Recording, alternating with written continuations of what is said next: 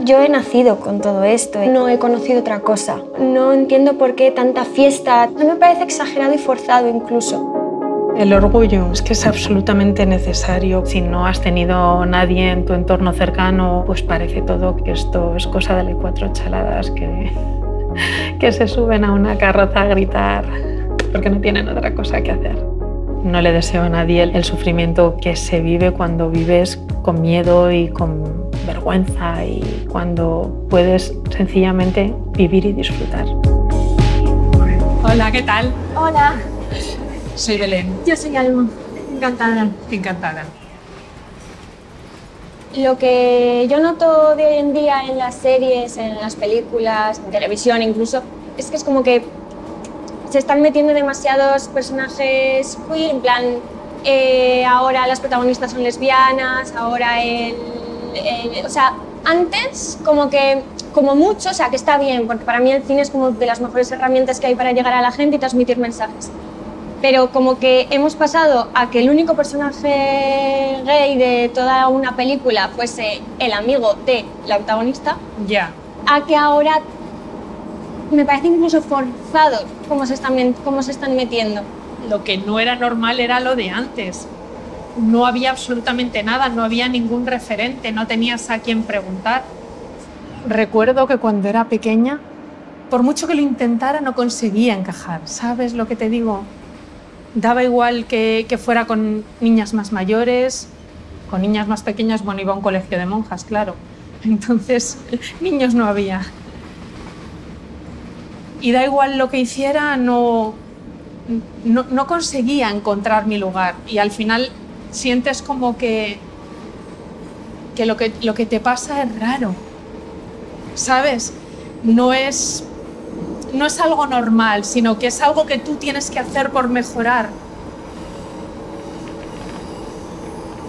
La verdad es que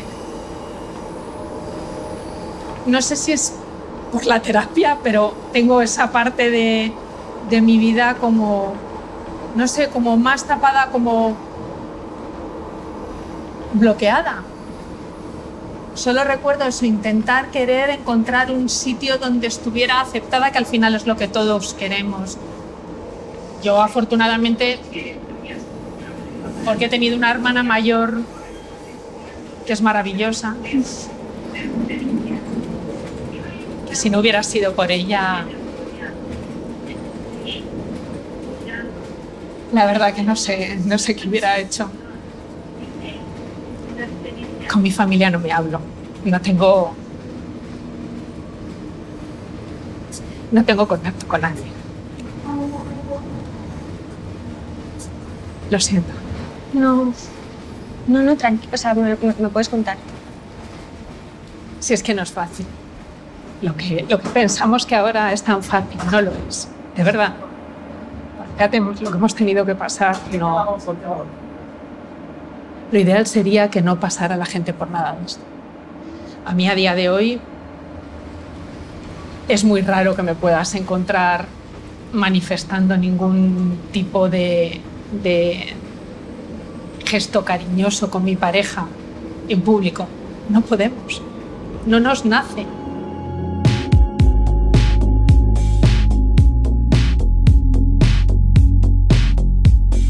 Yo te entiendo y y me ha servido de verdad un mogollón escucharte. Y ojalá pudiese escucharte mucha más gente, porque creo que es muy necesario que se escuche. Yo creo que es un poco lo que se pierde, las, las historias de cada uno, las experiencias de cada uno, porque yo creo que eso es lo que hace, lo que deja la huellita para que el mundo cambie. Está claro, está claro. Hay que tener valentía también para poder hablar, está claro. Sí, pero tú eres valiente. No sé yo qué decirte. A mí el, compartir el rato con, con, Belén me ha influido un montón. Sobre todo me duele que, que a estas alturas haya gente que se sienta así.